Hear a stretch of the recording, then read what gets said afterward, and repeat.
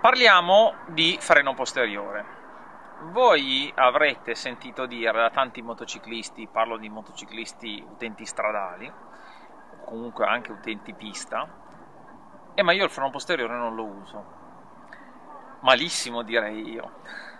Il freno posteriore è di grande aiuto per eh, tenere dritta la moto in staccata quando facciamo una guida sportiva o magari per una semplice guida stradale, turistica, a volte testare il terreno quando non siamo sicuri della tenuta, eh, possiamo testare il terreno con il freno posteriore, quindi capire se la moto oscilla, ondeggia, la gomma tiene, non tiene, ci può essere insomma molto molto utile.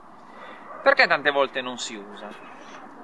Vabbè, un po' per pigrizia, questo ci siamo, però spesso succede che eh, abbiamo una sbagliata per- percezione del freno posteriore, ma non è colpa del motociclista spesso, è proprio colpa della moto.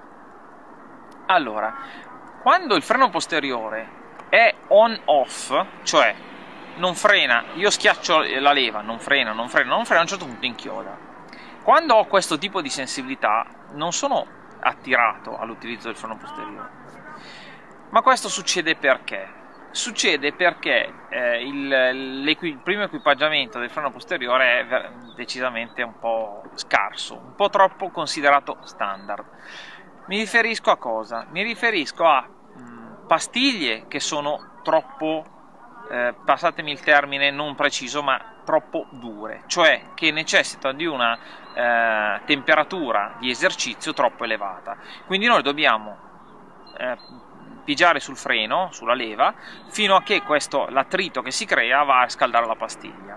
Cosa vuol dire? Che questa pastiglia non è adeguata per il nostro utilizzo. Noi il freno poster- col freno posteriore non impostiamo tutta una staccata in una pista ma semplicemente lo utilizziamo per correggere, quindi lo utilizzeremo poco, ma abbiamo necessità che sia pronto. Questo vale per qualsiasi circostanza. Allora, cerchiamo di utilizzarlo con una pastiglia un pochettino più morbida, magari che non regale a temperature altissime, ma che ci permetta di essere utilizzata subito, cioè che sia subito pronta. Spesso con eh, pastiglie semimetalliche molto economiche si risolve il problema a meno che eh, in, in, scooter di grossa cilindrata a volte c'è chi usa tantissimo il freno posteriore, allora va bene la pastiglia piuttosto dura e quindi che rega le temperature alte.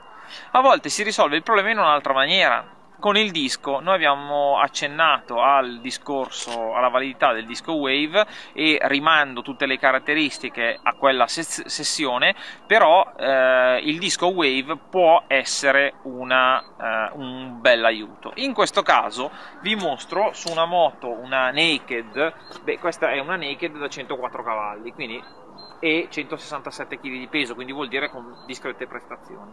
In questo caso l'utente voleva avere un freno posteriore più, pre- più pronto e cosa ha fatto? Ha montato una pastiglia semimetallica al posto della sinterizzata originale e ha montato eh, un disco eh, Wave che permette una frenata decisamente più pronta. In questo caso non inchioda col posteriore, però sicuramente ottiene un migliore feeling con il freno posteriore.